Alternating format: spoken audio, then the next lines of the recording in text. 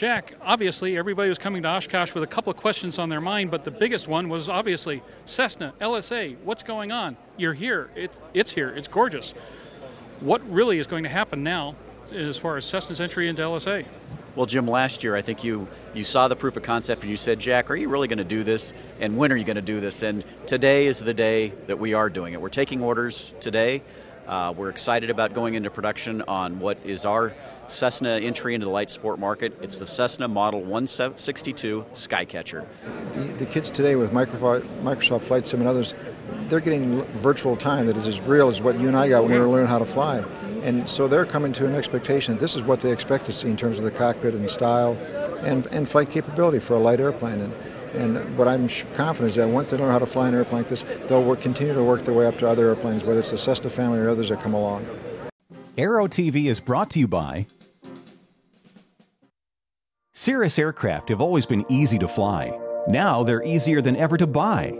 A complete line of ownership programs gives you everything you need to purchase, trade, finance, lease, insure, and warranty your Cirrus. There's even an ownership program for non pilots. The Cirrus Access Pilot can teach you how to fly or fly the plane for you. Find out more at www.cirrusdesign.com. Cirrus for the love of flying. Now, back to Aero TV. They're going to be using this airplane for the private pilot course as well as sport pilot, and we provide the training programs for the Cessna Pilot Centers. And uh, we've already started working on the syllabus, and we're very eager to get our hands on an actual airplane so that we can start uh, doing the uh, in flight segments with it. We really didn't see the, the, the real vision until the regulatory process was done. And we started the infrastructure building and realized that it was important that companies who could give credibility and validation to such a Cessna and get engaged. And we were very fortunate that Jack Pelton was at the head of Cessna because he was willing to, he was willing to share the vision, saw what was needed, and was able to put in infrastructure in terms of a business case that made this a reality.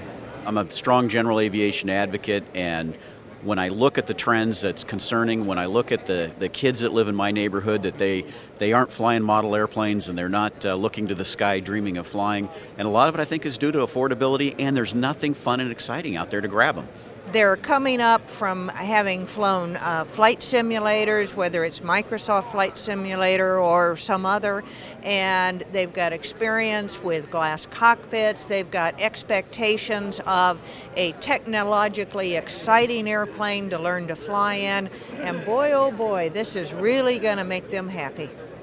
Aero TV is brought to you by. Today, there is an affordable, high performance, easy to own, and easy to operate very light jet designed with you in mind.